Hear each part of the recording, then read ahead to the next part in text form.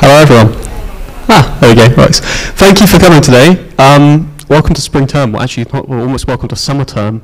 Um, but thank you for coming along. This is the spring rep assembly or spring term rep assembly. Um, I know some of you came last time, so thank you for coming to both. Um, so I'm just I'm basically going to just give you a bit of an update about uh, everything here at RUSU and everything here at the university, um, and and a bit a few of the opportunities that you can get involved in as a as a course rep as well, um, even on the on the back end of the year.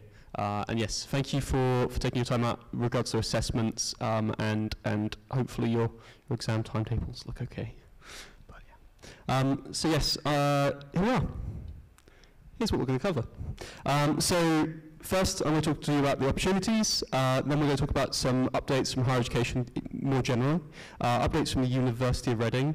Um, celebrating your hard work. So some other things that we we have here at RUSU. Uh, then we have Rodri, uh, who's going to come up and he's going to talk to us and, and run a Mentimeter on library systems and how you can feed into library systems.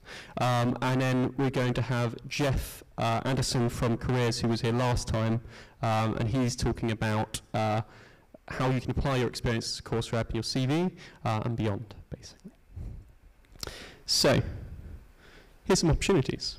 Um, oh, the few of the formatting's gone a bit, but so we have Student Experience Awards. Uh, they'll become upcoming. Uh, I think we're going to, during the, the Easter break, uh, launch the surveys out regarding that. These are for students that you want to nominate um, for uh, awards that, uh, whether they're, you know, basically the best course rep of the year, or, or most engaged, or um, most engaged with regard to societies and other things like that. So I'd really encourage you to, to first of all nominate other students, um, but also tell your course reps and, and tell your uh, tell other students about about the awards because it's a really good opportunity to to just highlight excellence amongst students who, who are engaged and, and, and you know who, who care about their courses, who care about their societies and the university community more widely.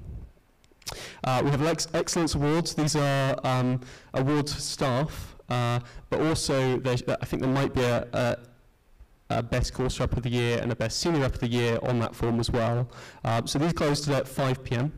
Um, you'll have opportunity to, to of course, uh, feedback in with the student experience awards. But if there is a member of staff that you really think has had a, a, a, a really beneficial impact um, on, on your course mates or on you, uh, student voice more generally, um, or somebody who you think just does a really good job, uh, that's the space to say it.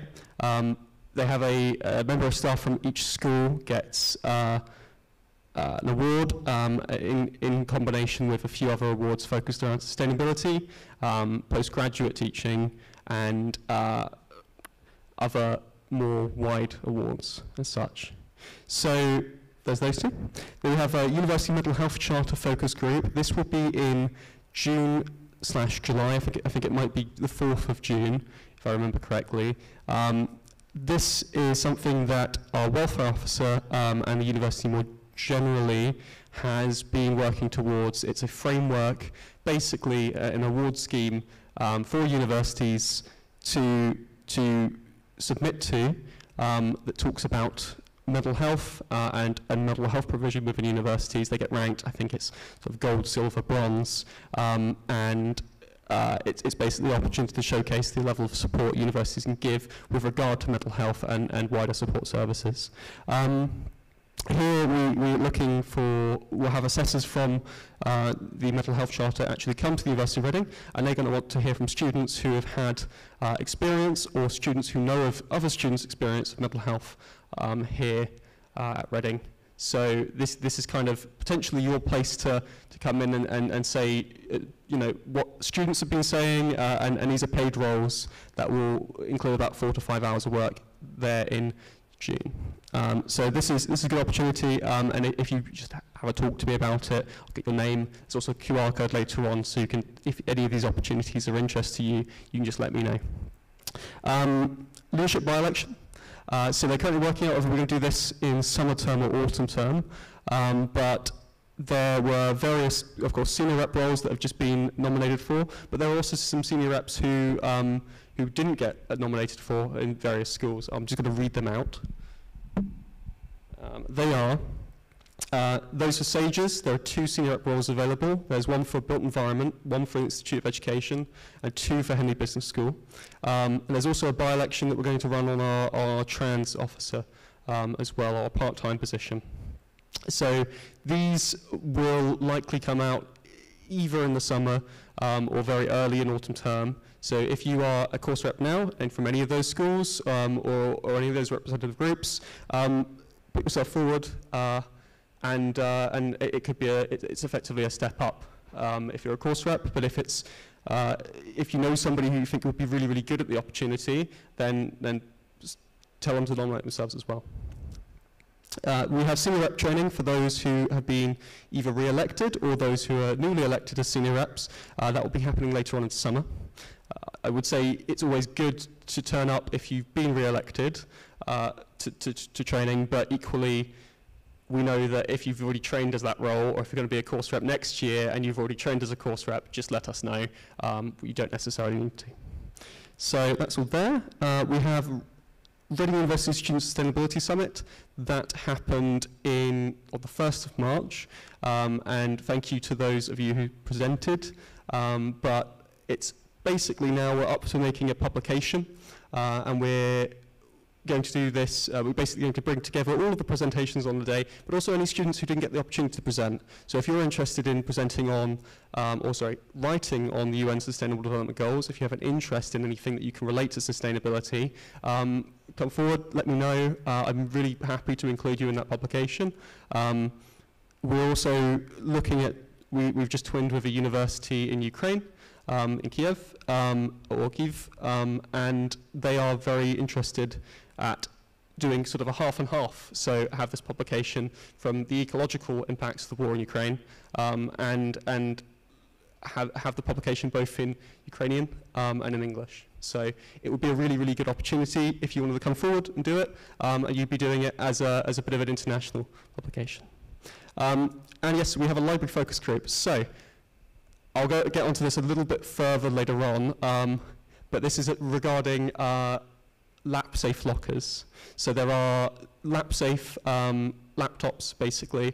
Uh, they are they laptops for hire um, that are currently in the library, and we're looking at getting some really engaged students, probably in the next month or so, to to trial run them. Um, so they're, they're currently available to all students anyway. They haven't fully been set up, um, but once they're set up, they basically want course reps or a small group of us to go over there and just try them out. Um, if that's something that interests you, feel free to sign up. I'll let you know closer to the time. Um, if it's during the middle of exam season, uh, I don't blame you. Focus on your exams. Um, but yes, so that's all there. Um, outside of that, um, yes, uh, higher education updates. So, so these are updates around the sector more generally. Um, I won't update on absolutely everything because there's so much that happens within higher education. It's such an interesting space as well. Um, also because in autumn term I think I covered quite a few things. Um, so at the moment I think probably the two key things um, uh, that are happening with regard to uh, all things that at least affect teaching and learning spaces uh, are the Freedom of Speech Bill and the work that the, the regulator is currently doing on freedom of speech. Um, this is going to implement policies that effectively um, allow uh, the OFS to, to have an, uh, an appeal route or, or to, to have oversight of freedom of speech in university spaces, but also student union spaces. So um, this is this is a fairly controversial bill, but also one that has been the focus of the government for quite a while, um, and it's basically to ensure that freedom of speech um, across the across the university sector is, upheld. Um, so we can come you know, come speak to me about that. It's a very big issue, um, uh, and I'd, I'd, like to hear your opinions on that generally as well. Uh, we have harassment and sexual misconduct. This is a condition that, again, the regulator is bringing in. Um, basically, uh, the, the regulator said, uh, or the OFS, the Office of Students, um, found that uh, the, this, the sector as a whole had failed to respond to um, adequately supporting students with regard to, to harassment and sexual misconduct and, and the routes of appeal and the routes of, the routes of really dealing with those situations. Um, so this is a, is a big condition that will be coming into place to basically ensure that staff are better trained with regard to um, dealing with these situations, uh, but also to, to better inform students. Uh, and crucially, it, it says that if you can't put adequate support in place, you can't be a university. So um, pretty, pretty strict stance, which is really good to hear. Um, and again, this, there's currently a consultation that's going out. So if you are somebody um, who, who has particular opinions on this, um, you can feed into the consultation via the OFS website. Uh, there is also a webinar on their YouTube, and there is um, a prevalence survey going out that universities will conduct as well. Grade inflation and awarding gaps. So back in 2021, uh, the university sector um, basically committed to cutting grade inflation. Grade inflation, since HESA, the people who collect all the data regarding universities, uh, has been going on probably for a good part of 40 years. Um, I think the statistic off the top of my head was in 1994, uh, there was 41.3% of students were getting firsts and two ones. Uh, today that sits at 83%. Um, so, you know, the regulator and the sector generally um, says that this is a really bad thing because it's unexplained. Um, lots of universities say, actually, we've had improvements in pedagogy, we've had improvements in um, uh, technology and in, in, in supporting underrepresented groups, and there's more money in the sector now than there was, uh, and therefore people should be achieving more. So this is something that I've been speaking about um, at, at, at various conferences, and how we sort of engage students within the grade inflation and standards um, debate, because I think at the moment it's something that we very, the sector very much controls, uh, and, and it's, uh, talked about very much at university level, but not really necessarily at student level, and the worries that come along with that. Quality updates, um, there are more general quality updates. Uh, the OFS has taken over designated quality board work. Basically, it means that they're going to start um, sending people along to universities who are underperforming um, and working out why they're underperforming and then telling them what to do. Uh, so that's, that's that in a nutshell. Um, we've got the revised National Student Survey, um, so there are new questions on this, other things. National Student Survey is basically something that you, you complete in your third year, so if there are any third years here, um, please make sure you've done it. Apparently people have been harassed on it specifically, um, but, but make sure you've done your National Student Survey. Um, it's your best possible chance to influence the university with regard to anything. Uh, they care a lot about NSS results. I've heard in so many meetings which shows the NSS results from this school or that school say this or that, and they will respond to that because it's credible evidence. Uh, it also influences the TEF. So that big thing back in September and, and right through to January that I've been working on, uh, all of that was based off of NSS data. Um, really important. So if you know third years and they haven't done it, um, kick them. Access participation plans, uh, basically this is just the sector's uh, approach to um, APP plans are things that universities uh, create uh, every, I believe it's every four to five years, um, and they're just revisiting how they do it. At the moment, GEM, our Inclusion Communities um, officer, is on this, uh, but they have a few different revised uh, conditions with regard to equality of opportunity and creating a risk register both for the sector more widely and the university. So, to make sure I don't overrun, we're going to quickly through the University of Reading updates. So, as I said, laptop lockers, they're coming, but they're still delayed. Portfolio review, ongoing and ever confusing. Uh, so if you haven't heard of Portfolio Review, uh, there should be a communication that has gone out this week, if not it's going out this week, where I, I talk through it, through it with Elizabeth. Um, they make me look like a vampire. All my blood's being drained out of me. On the, it's shone way too much light on me. Um, exam timetables, of course, they're here. Please come speak to me about this if you're, if you're particularly upset. I probably can't change anything. I won't lie. Um, I don't think anyone could change anything. I think I was saying in our consultation earlier, uh, in the senior rep consultation, that uh, it doesn't matter whether the government legislated for them to change the exam timetable. The university probably wouldn't. Uh, but if you're particularly upset, tell me about it and we can try and formulate something. Um, ongoing, still making progress on voice notes, um, making voting easier generally from RUSU and, and study space maps for the university. Um, we, yes, study space progress, so there are uh, five or six schools, I believe, five that have received money with regard to specific spaces. So, so Law School for Foxhill House is going to change one of their um, rooms into a laptop room. Um, London Road is having a open space within its staff room uh, for to basically better better the experience of students. Um, we've got rooms um, and updates to places in agriculture and meteorology over an agriculture building, and we have up in Edith Morley the Sackle building, or the I think it's the Self-Access Centre of Language and Learning. Maybe that's not correct, but they're going to get pods and get a whole updated space up there, so that's all really good. Um, that was £200,000 of money that the university put aside to, to basically approve these spaces, and these were school bids that we've approved. We've got self-certification developments question mark. Now, um, this is ongoing. Maybe you want to influence your individual schools about this or, or, or talk about these experiences, but um, as you know, we have self-certification exceptional circumstances um, requests at the moment. We have two, and they are two days a year. COVID is a thing. Um, trying to get uh, evidence for COVID is particularly difficult, uh, and it can be faked quite easily. The university doesn't really like that. So uh, we've been trying to work out ways of ensuring that students who still have COVID or, or, or get these things are able to put this through and, and get a credible, exceptional circumstance to their assessments. Um, what we have, or what we've, we've basically uh, come up with is first we have a relaxation of evidence to the end of the year. Um, and second, we've managed to front um, a increase to the self-certification days, um, still being approved, asterisk on that, uh, for, so you'll, you'll get two self-certification periods and they will be at five working days each, which is an increase by a bit because two working days never really felt like enough. Um, yes, uh, feedback journey flyers, we've made these wonderful flyers, which I can hand out later. Um, basically to, to, to work students through the, the assessment, uh, sorry, assessment feedback process.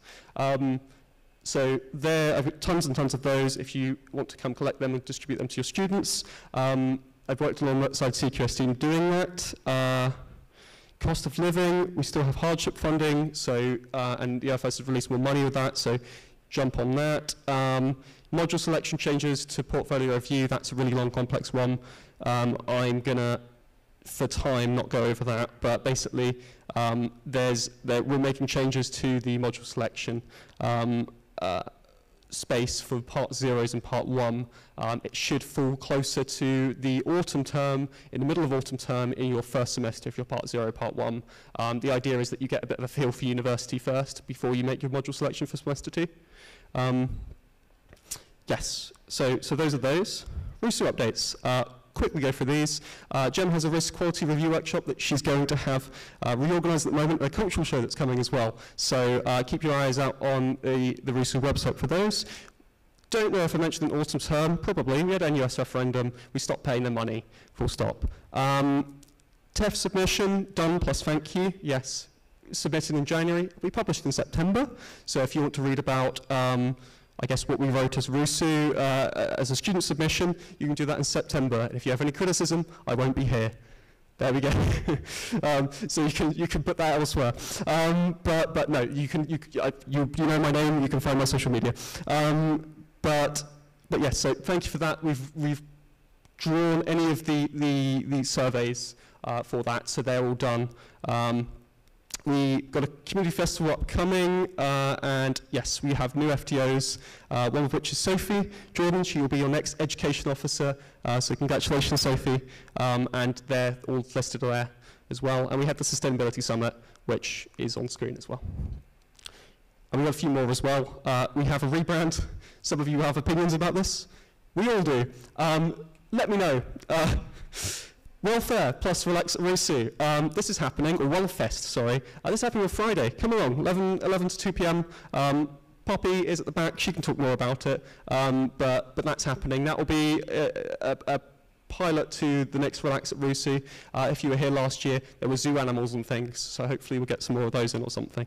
Um, I'm going to review rep training review the ways that we process data in RUSU so that we're better uh, next time for with regard to, to, to, to TEF and, and dealing with the sector and, and the, the metrics generally, um, and also a student partnership review um, because I feel like the current rep system, although it's okay, um, isn't being taken seriously enough by the university.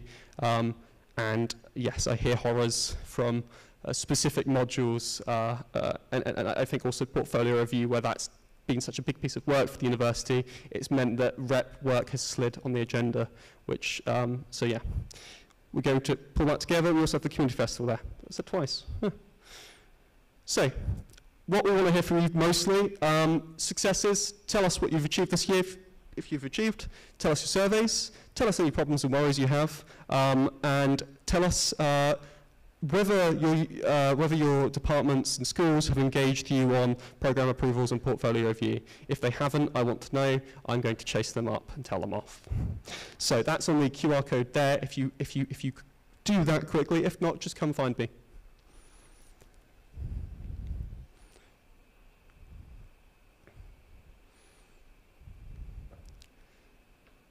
I'll give it a minute for that.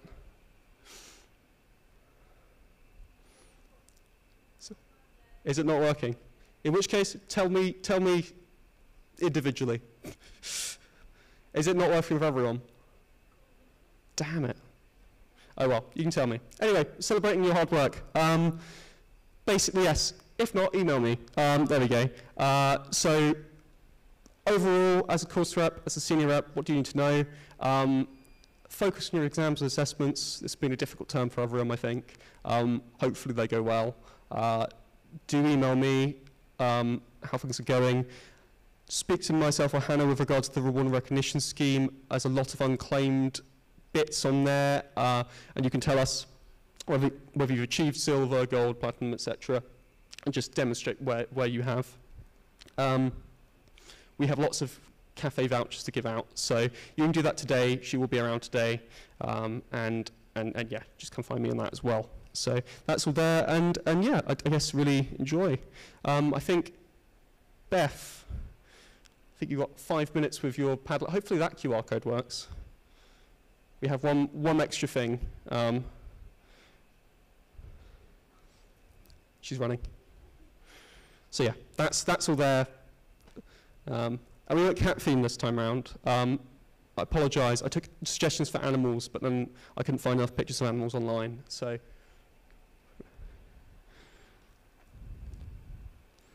Perfect. Right. Hello. Sorry, I didn't realise I'd be next.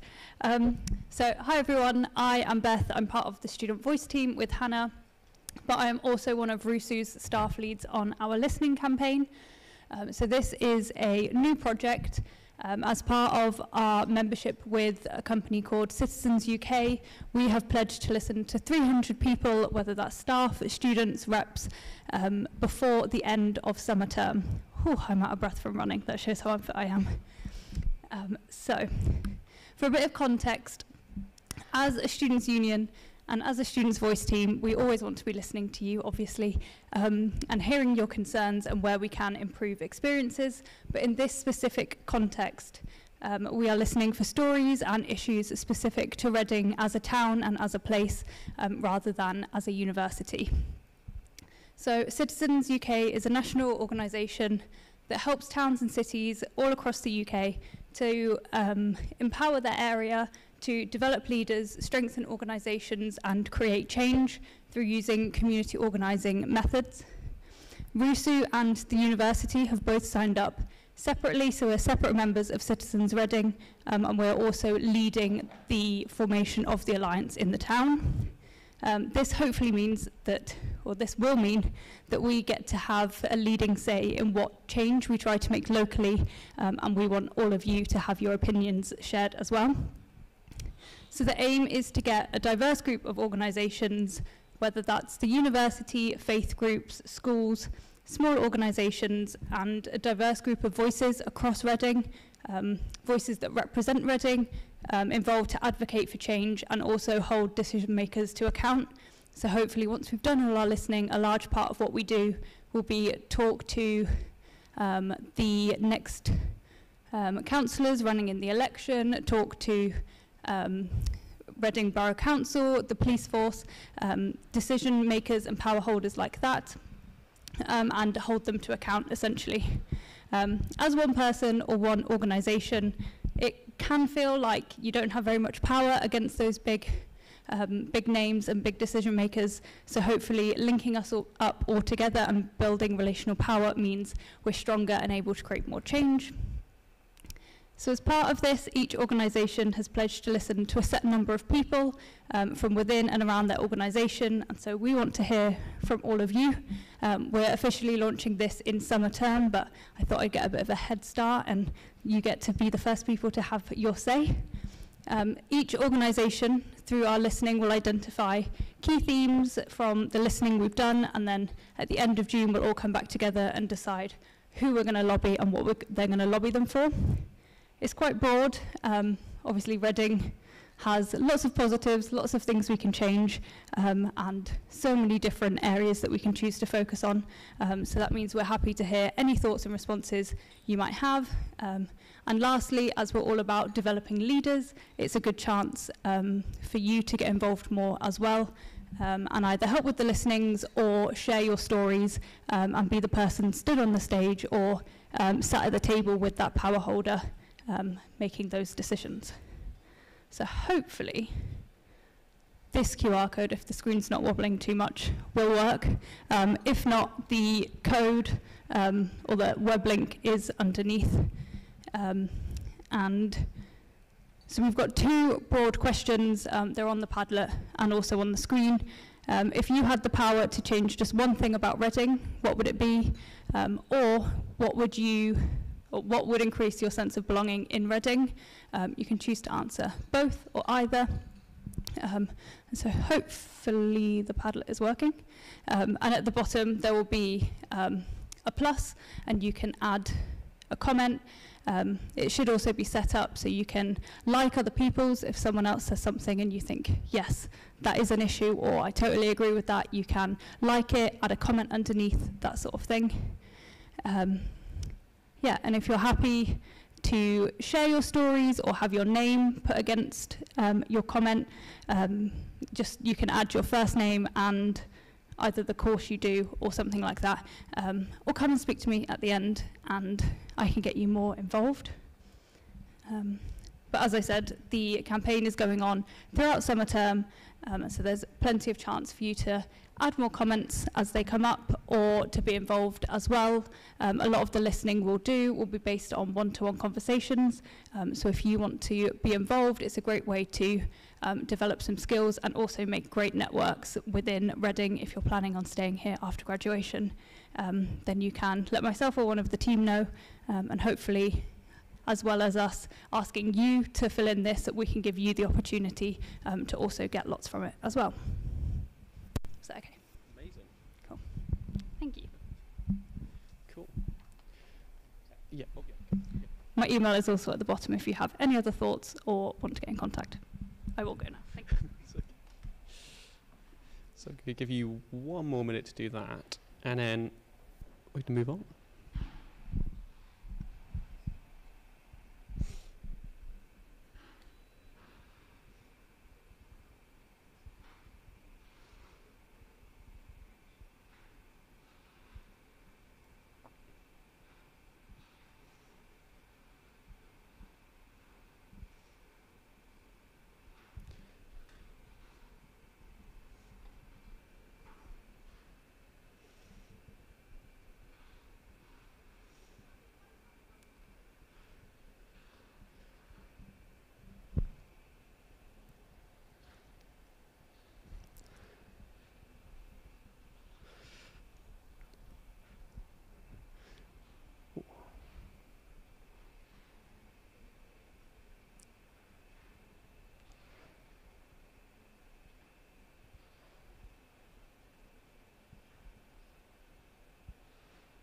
Perfect. I think people are mostly done. Well, either way, thank you very much for listening to, to, the, to the rep update. Now, um, yeah, get in touch with either myself or, or Hannah, those emails right there. Um, if not, you can just find us online at the RUSU website. Um, now we're going to go, I'm going to invite Rodri up to the stage. He's going to talk, or at least gather some feedback regarding the library and interesting updates with the library system. Um, there's a Mentimeter involved, which I think everyone generally likes. Um, at least I really liked it. So.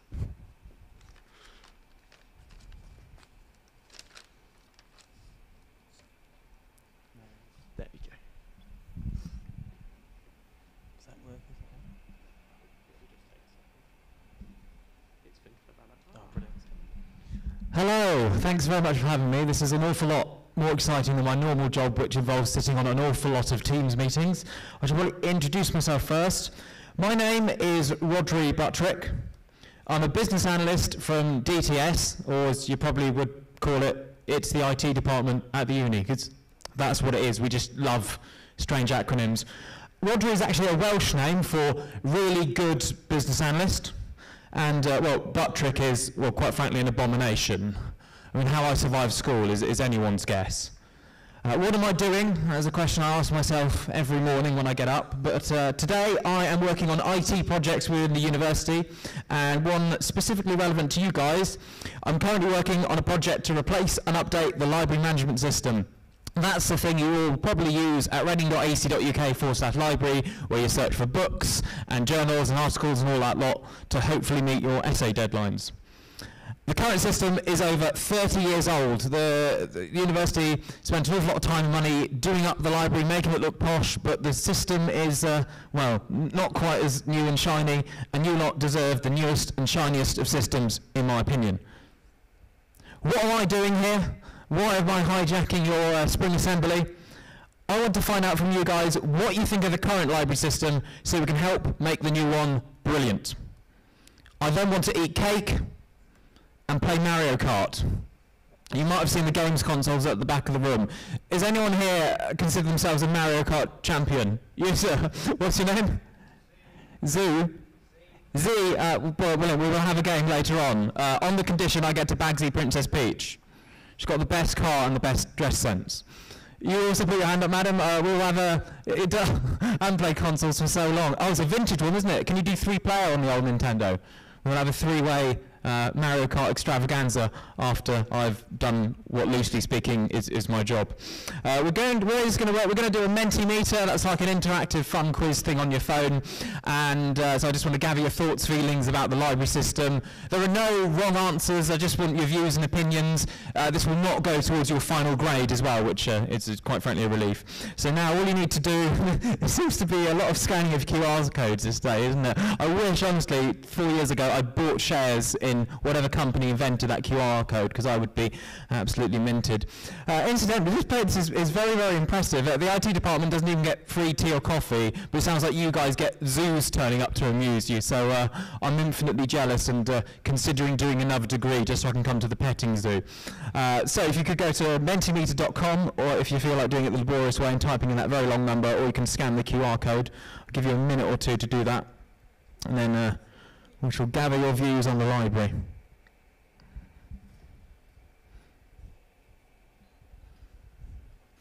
Also, gonna, we're going to ask some questions on Mentimeter, but I think there's a, a, like a, oh wow, getting likes. I didn't know that happened. That's more likes than I've ever got on anything I put on Facebook. More likes than my picture of my dinner got last night, certainly. I'm expecting something to drop to like one. Uh, there'll also be an opportunity for you to stick your hand up, grab a microphone and uh, give your view verbally. I appreciate this is uh, somewhat of an intimidating environment and it might feel unnatural for you to be in here without a pint of snakebite, but I just want a nice friendly open chat about the library where there's no rights and wrongs and we can hopefully all get something out of it and build the library system of the future. Uh, right, so firstly, uh, some market research. What degree are you on? Slash course slash module slash program. and any other synonyms?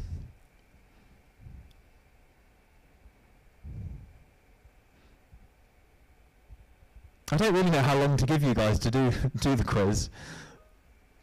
Um,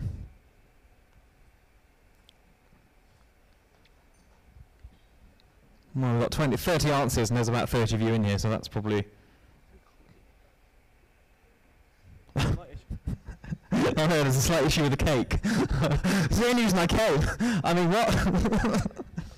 uh, 32. Uh, let's see. Good grief. So we've got a wide range of courses.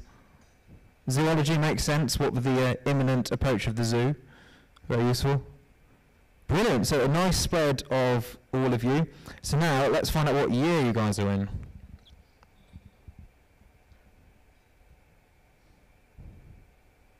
Well, it's a bit early for first years to be out of bed, isn't it? It's amazing.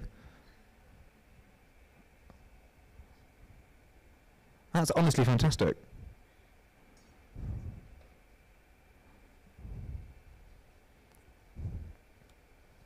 And now, uh, just to gauge the mood of the room, uh, which fictional character do you feel like today? Uh, Gollum from Lord of the Rings, uh, Peter Pan, Eeyore, uh, Behemoth.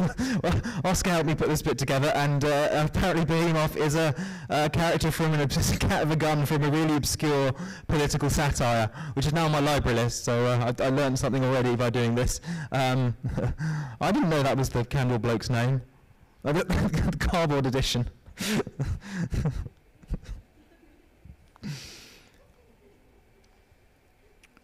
Interesting. More more people answered this question than the last one.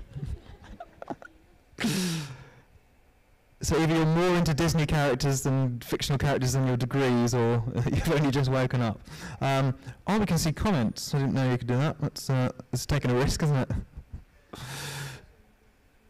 okay, that doesn't really do anything. Uh, right, let's see what the. Oh, does it not give the um? Oscar, can we not get the results of the fictional character? I didn't. Oh, that was it. So, so the cardboard candle bloke won. oh wow! I'm uh, presenting to a room of cardboard candles. All my dreams were erupting at once.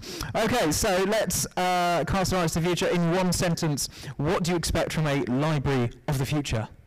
Remember, there's no right or wrong answers. Just a nice, fun way to get get uh, thinking.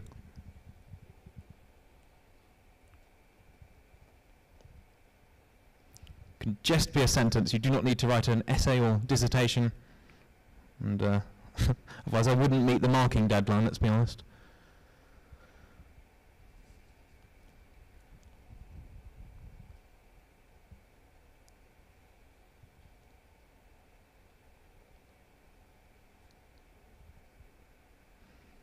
Brilliant. Let's have a look at some of these. I'm very, very intrigued. Do you able to play video games on the library PCs? An excellent suggestion, but my colleagues in IT security would probably uh, be, uh, uh, less enthusiastic, uh, despite the fact they blatantly play computer games all day. Easy access to check out books. Oh, easy access to. Okay, that's interesting. Uh, we want books, yeah. We're not going to get rid of the books. That'd be a foolhardy. Cake. I'm all on board for cake. Uh, free printing, accessibility uh, to a wider range of resources, uh, more copies of books, uh, droids to bring me books. I like that suggestion. Whoever said that one, that is uh, fantastic. Uh, we'll find the librarians have also they'll take on the Libratron 5000, which is a robot that goes around shushing you. Uh, be brilliant. Want all computers to have RTX 4 series graphic cards. Is that a friend of the person who wants to play uh, video games on the library PCs? Uh, that's fantastic. Oh, it's two fingers on a Mac, isn't it? I'm a Windows user, unfortunately. Uh, much easier way to find books. Uh, it's hard to find them. I, to be honest, I did get lost in the journal section looking for a Terry Pratchett book. I just assumed someone had nicked them all, uh, so I can sympathise with that one. It being easier to get books, I literally don't understand how to find or get books, still stresses me out. Uh, less crowded. Do feel free to ask the library staff, though. They're going off on a tangent and way outside the scope of my project. I'm just looking at the system. But if you do ask them generally, they tend to be really helpful. At least they were when I was an undergrad, uh, which was a while ago, admittedly. Um, uh, less crowded, more seats, uh, more tech. Um, yeah, we, c- we all, uh, all like more tech. Uh, better online acce- accessibility. Oh, I'm not very good with this Mac mouse. Oh, there we go. Uh, free printing again. I think this might come up at a, stu- a few uh, student voices uh, soon, Oscar.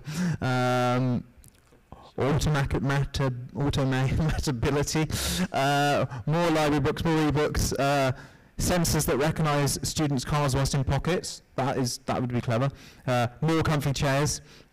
Uh, library, library that already knows what book I need. That really would be the library of the future. Uh, in the same way, I guess like Amazon knows exactly what I'm going to buy before I've bought it. It would be frightening, but also time uh, time saving, wouldn't it? Uh, a library that encouraged uh, support your learning process, not make it inconvenient, easy access to books and printing, more clear subject dividers and courses. Yeah, the, the endless shelves are rather intimidating sometimes. I find. Brilliant. Those are a wide range of views. So now, uh, let's get down to what do we mostly use the library for? Do you take out physical books, or do you go look after journals, or do you look for e-books the most? It's like a race. e-books are in the lead. Coming up in second position is physical books, so it's turned the corner. uh, journals lagging behind. 27, 28. Oh, it's neck and neck for pole position. Journals, as uh, well, might as well have not turned up today. That's very interesting. I wonder if it was this. There were more postgrads here. Journals would get more of a look in, but as it is, only three of you out of thirty odd. So physical books. That is uh, very interesting. So whoever, whoever said uh, that the library of the future uh, must contain books is uh, uh, spot on with that. That's it's interesting to know. So now getting down to the nitty gritty of the system itself. At the moment, you've got one box uh, to find uh, physical books and one to find articles and journals, etc. Uh, and I'd like to know which do you prefer, one search box or multiple boxes?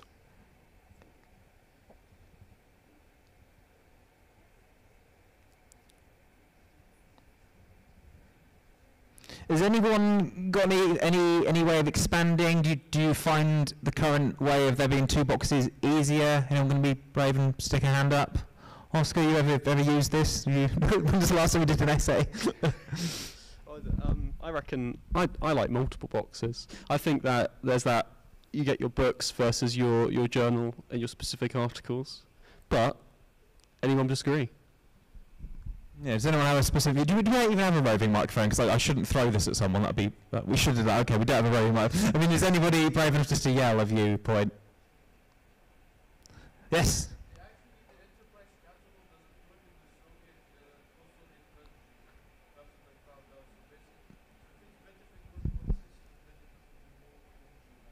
So the enterprise catalog, you can't, if you're in a, so you just, you just said the enterprise catalog doesn't work in the Soviet countries?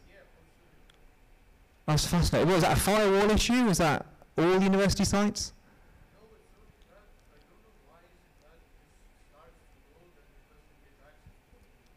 That's bizarre. But the if you if you search in summon, it'll work.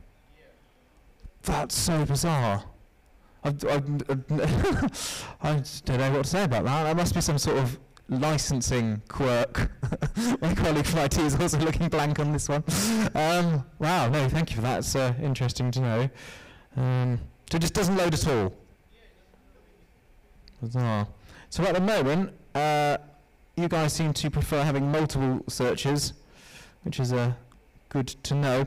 And a more general question, do you find the process of looking up a book on the library system long-winded or quick? Again, there's no right or wrong answer for this. If anyone is brave enough to say why they find it long-winded or how it's quick, then that would be infinitely helpful. I'll give you a few more minutes on that one.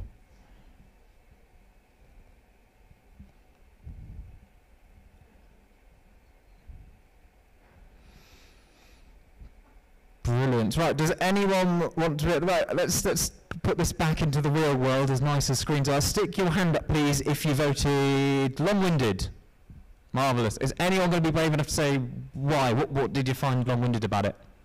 Anyone? Uh, madam in the front row?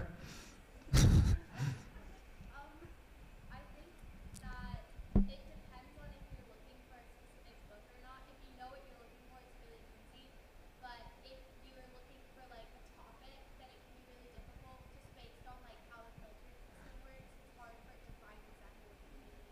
So if you know the exact title and author and whatnot, easy. But if you're searching around a subject, okay, brilliant, excellent. Who, who else was there? Anyone else gonna gonna pipe up? See, that was that was very easy. That was good to shout out views. Uh, that is how it's done. Perfect. Um, was there anyone else? No, you put your hand up. Although I don't know how you'd know because you, you're in a country where you couldn't access it. um, so yes, madam in the back.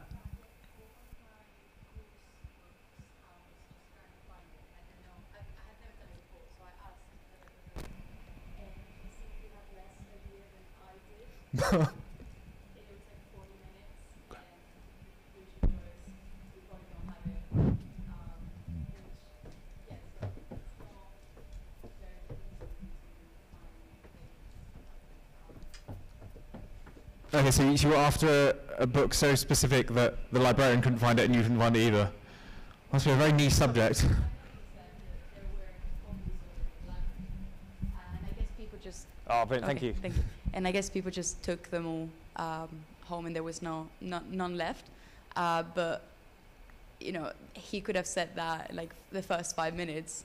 But Oh, I yeah. felt like it was really long-winded to So did, did you have the author and title or not? Were you searching I, it? I was a bit confused about the author, or I, I had the like no the edition, yeah. uh, and I was just trying to find out. Oh, was a journal then. It Was was, a book. It was. A Oh, it was a book. It was, okay. Yeah, it was a textbook, and uh, I asked for help, and I felt like they had less idea than I had about how to find a book, Oh gosh. which was strange. So I don't feel very confident about asking for help with that anymore. but maybe it was the person. I don't know.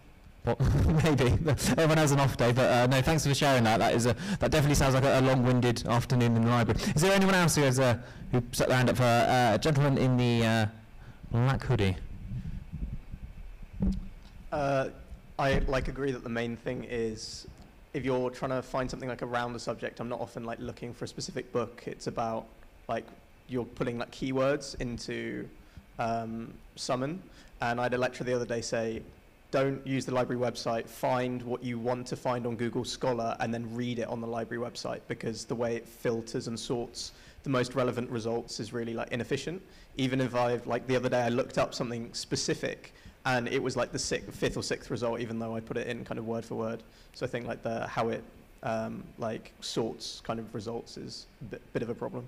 Oh, interesting. So basically, you use Google Scholar to generate the search terms to make the library system do what it should be doing, almost. In that. Yeah, yeah. I go into Google Scholar and then find, oh, that looks interesting. I'll access that through the library um, because it filters stuff better. Hmm, sounds like a lack of metadata. Maybe the new system should have a ton more metadata. So if you're just searching around topics, that might make things easier to find. Um, did anyone did anyone find it quick and easy? And uh, that's, it's always harder to expand on. Yeah, it went well. But uh, does anyone have any points to make about it being quick?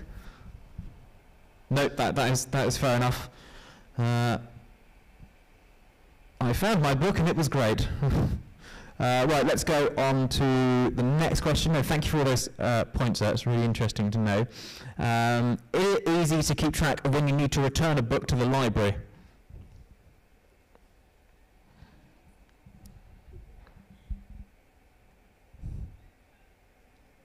Four of you have never borrowed a book. Hopefully, we've got, all five of you. Hopefully, we can't infer that that means you've just stolen them or whatever. Six.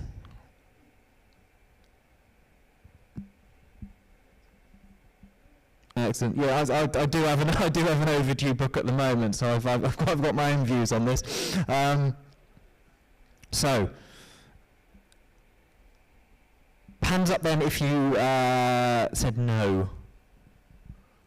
Marvelous. Have you, you got anything to say? What, what what's difficult about finding the finding the system? I mean, I've I've, I've had my own problems with this, admittedly, so I'll, I'll, I'll share that in a moment. But Um, I think it's just that. I mean, maybe there is a way, but I have no idea if you can actually see what books you've checked out. You just kind of have to like look at what physical copies you have, and just kind of know when. I mean, I don't know if you can access it online. I just kind of hope for the best, or wait until I get an angry email from the library that's like, you need to return this when I go back. So, yeah. I've heard, I, to be honest, I had a similar experience. I took a, book, a book out the other day just to see how this all worked, and then uh, I, I went onto the library website. And it took me absolutely ages to find the link to log into my account. Once I found the account, it was clear that I had a fine to pay. Um, so if the li- new library don't get their system on time, then I guess I won't have my fines waived. Um, but there we go. Uh, but yeah, I, can sympathise with that one. So let's uh, rattle through to the uh, one of the last questions. Uh, is there something that you wish you could do with the library system? very open question. I'm really intrigued by this one because uh, the answers to what the library of the future should do were so wide and uh, imaginative. I'm uh, excited by this one. I- I'm already predicting someone is going to say, "Can write my essays for me like a Chat GPT can."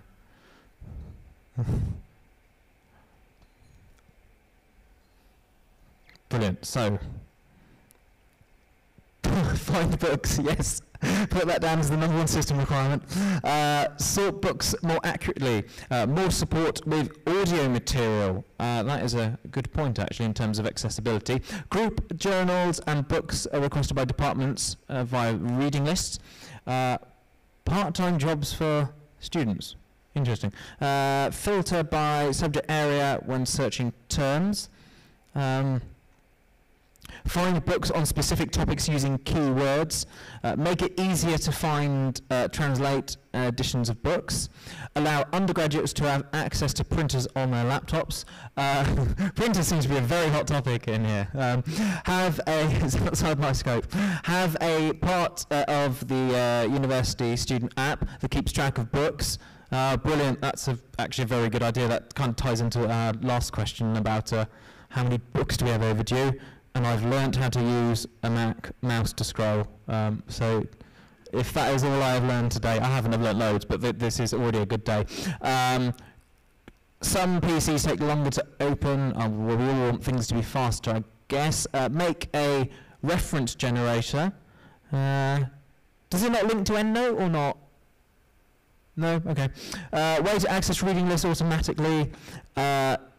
Easier, earlier reminders of returning books, easier to find out if a journal is available online, faster connectivity, uh, possible use of Starlink. What is Starlink? I'm going to, just going to display my ignorance. Can someone sum up what Starlink is in, in a sentence? What? It's what, sorry? Elon Musk. Oh, right. Oh, Brilliant.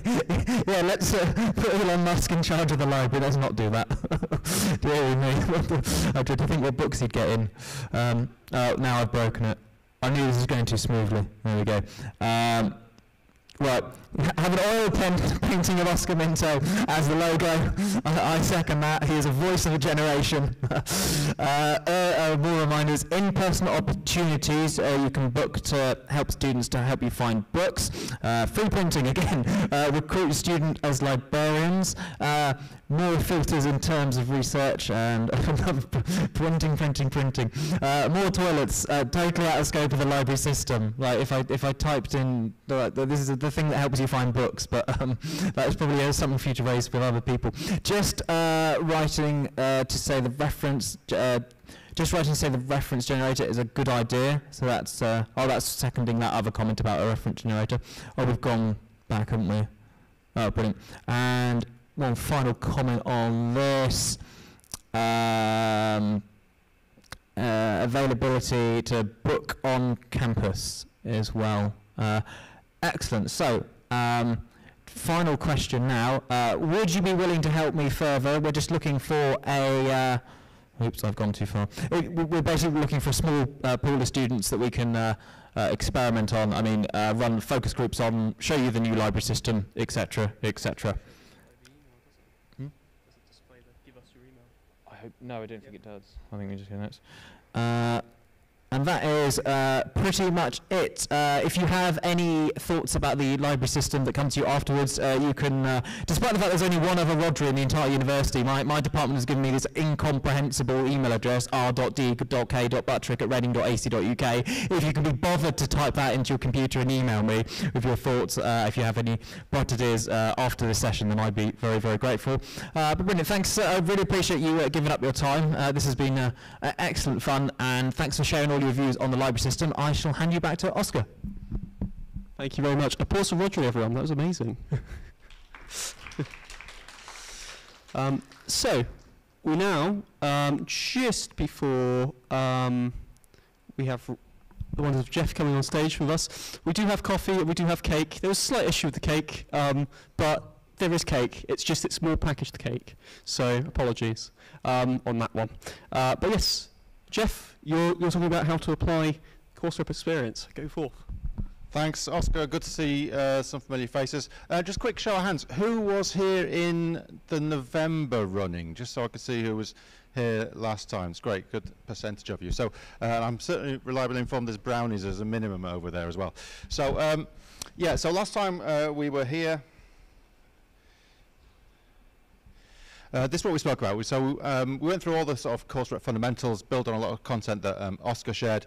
Um, I sort of proposed a model for you in terms of you know how to perhaps have more impact, how you could think about the sort of planning, how you could think about how you sort of debate and figure out that kind of issues, and then you know with that how you could then go ahead and potentially use those skills to persuade and have a stronger contribution um, in those uh, student rep uh, meetings, whether the SSPGs um, or the board of study meetings. And what I said like, um, at the end was next time what we're going to talk about is how we could sort of reflect a little bit in terms of um, what worked for you. Uh, and certainly I was here to give a bit of input as to how you could best represent those experiences, whether it's for next year, for when you're applying for roles, or potentially how you could use those um, in interview. So we're going to get to that now. Um, I have also got a very quick Menti, but what I'm going to do, because I can't bother to log on here, is I'm going to run it off my phone. Don't worry about it. Don't worry about it. Um, so what I'm going to do, there's only going to be a couple of questions. So the first one's going to be a poll.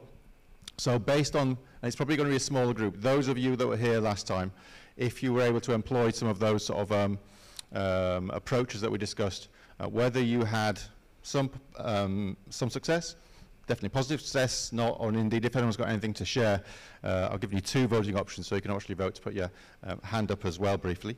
Um, then there's going to be a second quick one, which is a reflection about how you go about um, the experience you've got when you're sitting in those meetings, in those forums, um, and what kind of skills you think you are developing through that.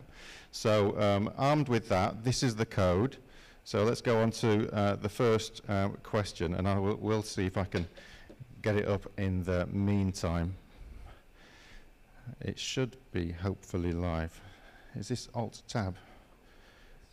You have it. Uh, you have it sent to me on. Uh, no, I'll probably have to log on to it. Okay, yeah, that's perfect.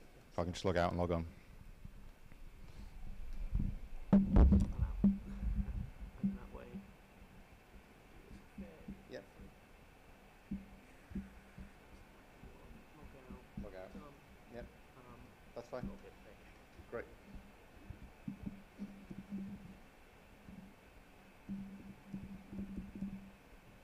That's the ant.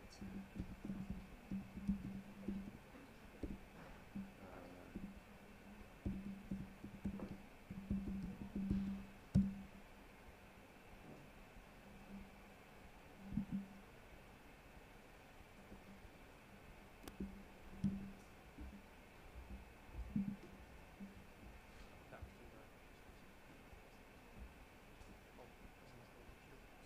right. Oh, stop presenting on that one and present on this one. Fantastic.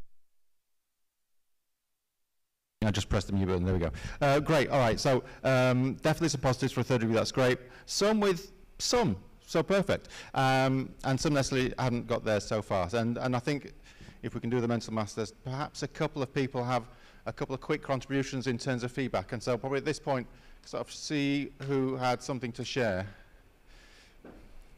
My hearing's pretty good, so go on, go for it. But then a day before the um, the strike was uncancelled. Yes. But then we still didn't have a meeting, and I haven't received any feedback from the school to hear about what went on in the meeting, if they took any of our suggestions into consideration. So I just don't know what's happening there. Uh, no, I'm the course rep for BSL. Okay. So, um, unfortunate, obviously it's very unfortunate there's uh, elements of disruption going around at the moment. I, would suggest, um, in terms of a potential follow-up, you know, I think if the feedback wasn't actively discussed, then there's probably certainly the opportunity to sort of reignite and recirculate that. And actually, it might be that there's a means of, you know, whether it's the, um, you get all the acronyms, SDTL, you know, the, the sort of those positions of responsibility across uh, the particular faculty that you're, that you're in, to actually see whether there's something or whether they're going to actively take it forward and re-roll it into the next meeting. To hopefully, was that a spring one or was that the autumn one? that was the spring one. Um, and I guess the other thing is if there's some time critical components, and again, it might be a case of saying, well, we really would value sort of feedback on this and ensure it's so there might be an off-cycle dialogue, certainly in the instance where that was, um, that was challenged. Um, so thank you for sharing that. And ever so briefly then on to the next one. So this is just for a free word form. What kind of things do you think, um, whether or not you were um, using any of the materials that we shared last time, what are you developing through your experience as a course rep. So I, had a couple, I don't want to sort of feed the witness here, but I had a couple on the previous slide just as potential prompts.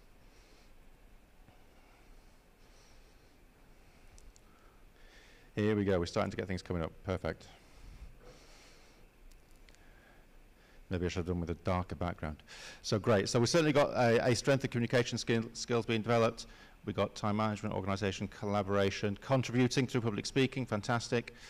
Uh, good to see the confidence building, assertiveness, great, and uh, critiquing.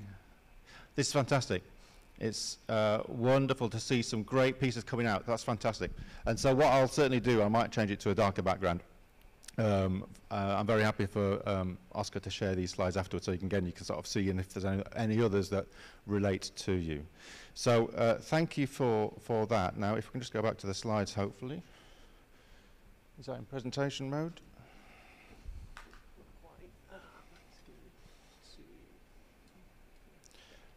Wonderful, thank you. That's all right. Okay. So uh, we went through those. So we, we had a number of those skills. This is one of the sort of standard skill slides that we often talk about when we sort of recognizing skills that we're developing. It's, it's obviously outside of the pure academic components that obviously you're gaining so much input from, depending on what year stage uh, that you're in. Um, and you know, these are skills that can stay with you. And you may have a natural preference. You may have a bias to one set over the other. But what I'd say is all the pieces that you listed out a moment ago are massively valuable. And you can apply those ultimately in lots of different circumstances. Um, there was a survey that was undertaken last year. This is something from another university in conjunction with YouGov. Um, and it was a future skills um, survey asking about 2,000 business leaders about some of the things they thought were going to be important over, uh, over the upcoming cycles. And, you know, problem solving was a big part, critical thinking, which I saw on there, communication skills was there, um, uh, critique and analysis um, was there coming out of COVID, I think resilience was a new entry into this list, uh, and otherwise a couple of the others uh, moved up and down a little bit. So again, we've seen a big um, compare there between what you said and what is potentially some of those future skills that can be valuable uh, as you potentially think about future um, future positions as you move on uh, through your university career and afterwards. And, and how might you use those? So, um, you know, I'm here to represent careers. So, you know, these are the kind of instances where certainly as you think about the sort of um, employability and you know the kind of opportunities you may be seeking, there's lots of instances. So obviously networking, you know, even going to these um, um, these forums is a great opportunity uh, to meet, hear from others, other people on your course who have been through the different parts of the uh, the the um, degree journey before you, uh, as well as from the staff perspective.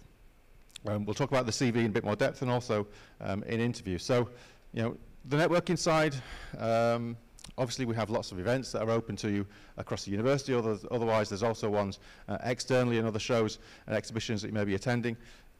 Maybe some of you are back here in October to see the, um, the careers fair and again how you could again um, with that confidence that's being built and your communication skills how you engage uh, in those areas you know, some of the um, strength that uh, you could have those skills being employed in is, is when you develop an elevator pitch, how you could quickly represent yourself for big impact in a very short period of time.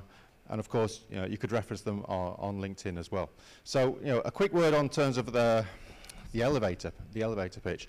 And it, it's, you know, it's very, um, uh, very similar in, in fact between perhaps what you might say on that LinkedIn profile where you've got your summary, your profile section or at the top of your uh, CV. What are the key sort of skills that you have?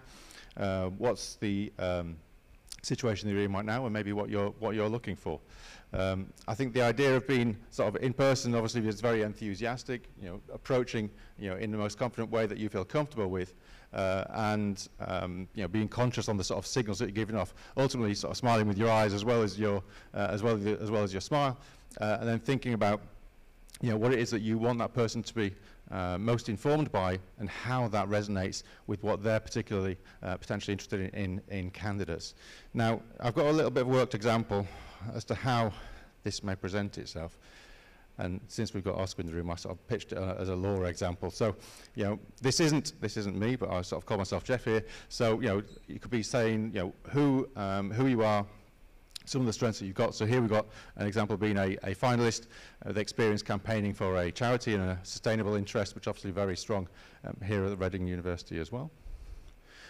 This is where they're talking about some of their unique skills. So you can talk about, you know, I've got experience in, in um, supporting campaigns, you know, leading webinars and talks, and I'm looking at some research in terms of the climate change uh, in this sector and what they're explicitly looking for. You can very easily set out your stall very directly and you can absolutely tailor that to the different kind of opportunities. You might say something to one stall and if another organisation in another sector, you can obviously tailor that uh, to the next kind of stall.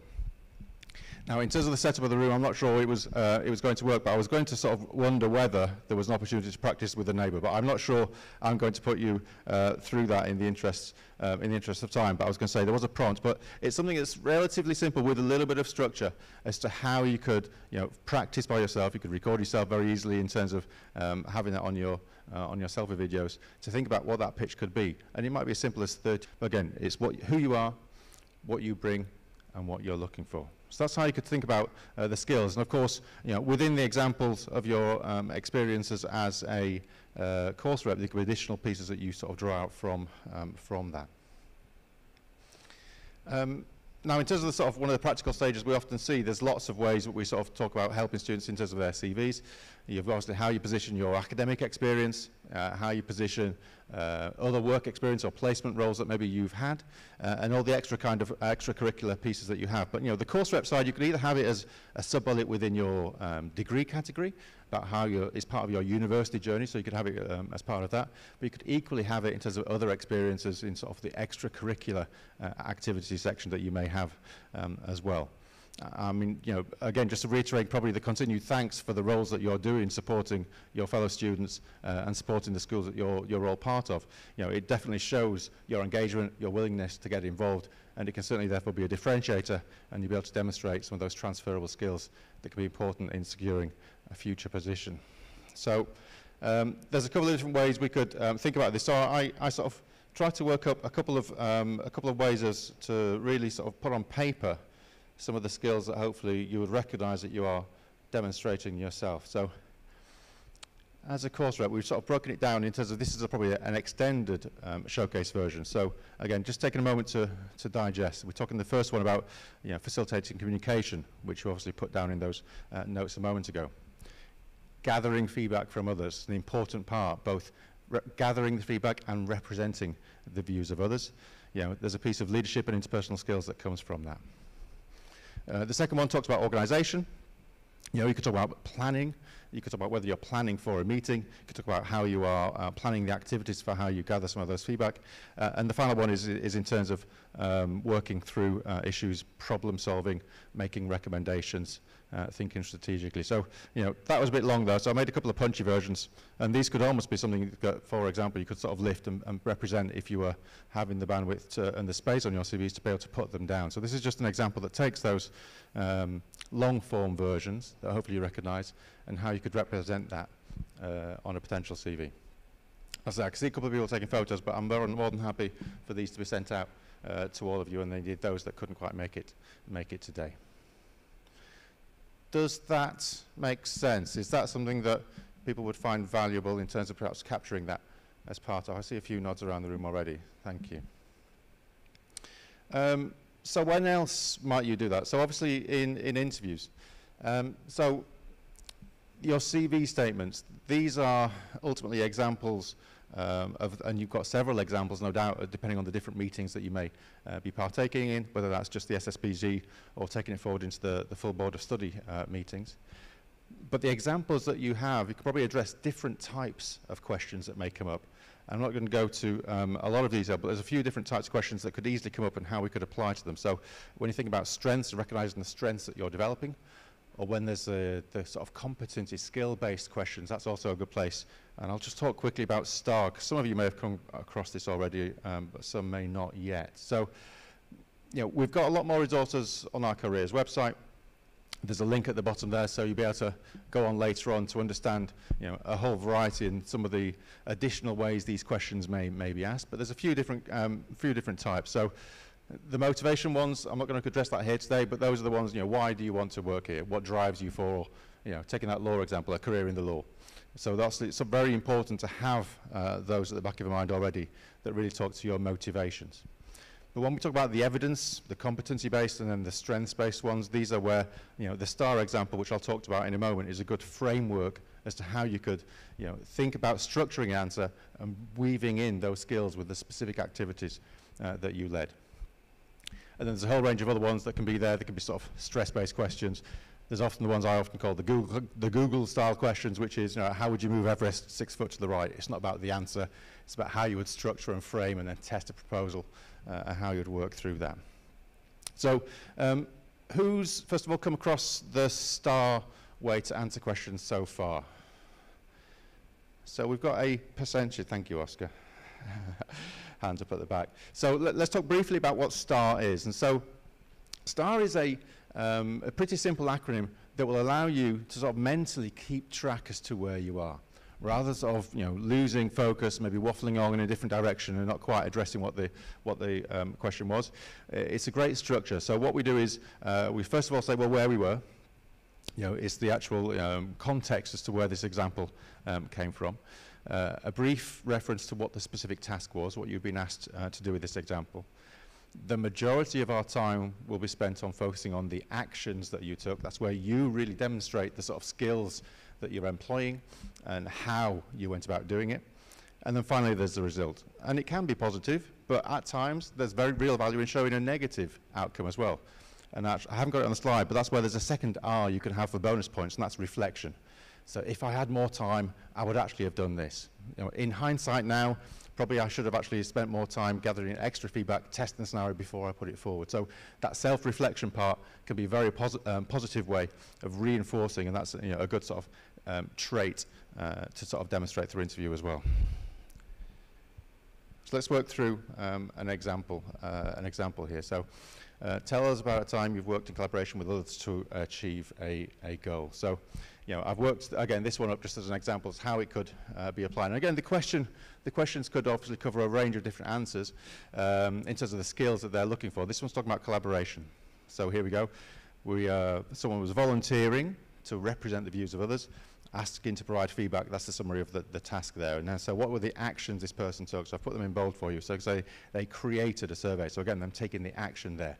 They followed up, um, you know, summarizing and presenting and ultimately, if it's anything more challenging in terms of feedback, sharing it in advance. So several little steps that were easily outlined in terms of the pieces that were just you know, preparing for, for a meeting. And at the end of the day, you know, a positive result that the voice was understood. Um, I was in a meeting where at least this, this discussion was um, raised in one of the schools I, um, I support. I can get to a positive result. Again, you could also, also add that reflection in terms of what you could have done differently for next time around. But it doesn't have to just be, you know, your experience as a course rep. You know, this technique can be applied to all manner of different contexts. So again, with all the other experiences that you're, uh, you're gaining, you know, I always say retail and hospitality roles, you know, working in a bar, working in a store, you know, those can also give great examples. So again, it's just a framework that's there to help you. Here, we've got an example on communication skills, you know, talking about a, um, uh, dealing with a customer problem. And again, in the action, they listened, they summarized, they adapted their language in terms of trying to uh, solve this customer issue. Um, and then, you know, ultimately the customer understood, saw an alternative solution in this example, and they got positive feedback. So that's the sort of a, a reinforcing, a reinforcing example. Now again, I think because of where we are today, I was trying to think about a way that I could have this going live for you, but maybe this is a little optional takeaway activity for you as well when you, when you see the slides. So, you know, you don't have long to practice. You can have several stories behind the scenes, but obviously you're on the spot when you're in an interview situation. So that's why the STAR acronym is quite easy to remember, a quite quick flow, and think about your, your, leadership, um, your leadership experience. So um, again, I'm sure through the different meetings you've had, you've had a different number of different roles and a number of different questions where you were asked, asked to support. So uh, yeah, that's an example, and I think probably showing my workings. I actually put one in there for you as well. So this one's probably a little bit extended, but I did this one quite um, earlier today before before I came in thinking it might be more challenging to run through. So um, yeah, again, so this was about uh, representing. Um, oh, this was actually more general. This wasn't necessarily asking the questions, but again, if you could talk about uh, sharing your experience, again, it can be a frame to at least position the variety of activities that you were that you were doing. So positions of responsibility. Again, the communication piece can be woven into there as well.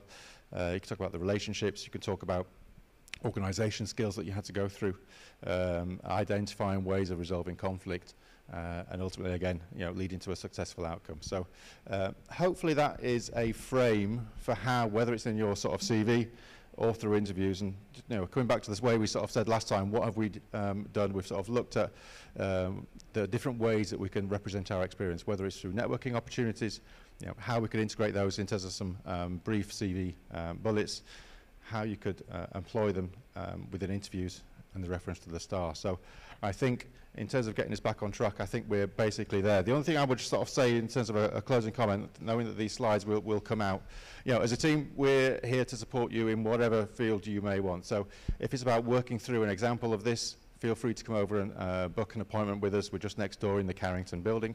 Um, I would also say if there's anything in terms of the careers provision across your different schools, actively reach out, uh, reach out to the careers lead um, for your school. We are covering several schools each, but there's always a careers lead for, for each school that is uh, represented by you um, today. So absolutely reach out to us, uh, see where we can support you further, and indeed obviously adjust our approach for future years if that's required. So I think with that, I'm happy to stick around and have a coffee, answer any questions that you've um, got directly, but thanks Oscar for inviting me back. Thank you. Round of applause for Jeff Rum. Thank you very much, Jeff. But yeah, go. Um, yeah, coffee and cake, reduced cake, but to be honest, there's a reduced amount of people in the room. So um, feel free, it's over there. There are games behind you. There's table tennis um, and uh, Mario Kart or Mario something, um, and, and an, an Xbox there as well. So um, stick around. If you have any questions, I'm going to be there. Jeff's going to be there. Roger's here. Um, so there you go. Yeah, yeah, of course.